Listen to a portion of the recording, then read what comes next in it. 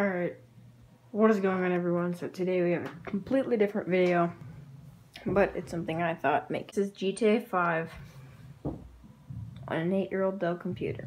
Let's get into it. So, the, the specs of this computer, uh, for the processor it has an Intel Core 2 Duo.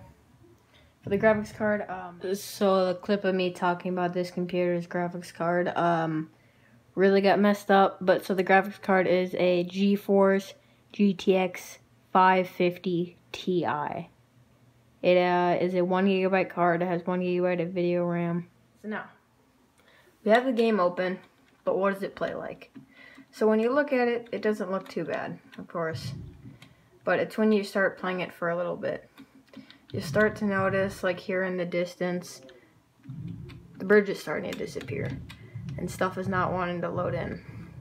And it has just slight input lag when driving. Because as you can see, it wants to freeze up and stuff is not spawning in here. There, a building just disappeared. And here's the road. This. Hello everyone, so I'm back. Um, so yeah, it's been about two, three, maybe four minutes, and Google just now opened. This video can go in 1080p.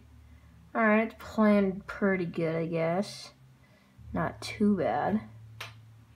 Alright, yeah, it's, it's not too bad. Okay, yep.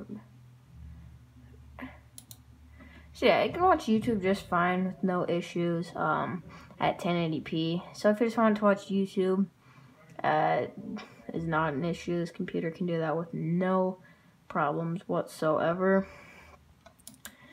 But because this thing only has 4 gigabytes of RAM and only a Core 2 Duo, it does struggle with some things. Like, if you have a bunch of things open, say, oh, here's FX server. Oh, here, let me click here. Uh, uh, yeah, yeah, oh, wait, no, here, let me go here. Nah, you'll start to free stuff up, and it won't be, uh, as usable.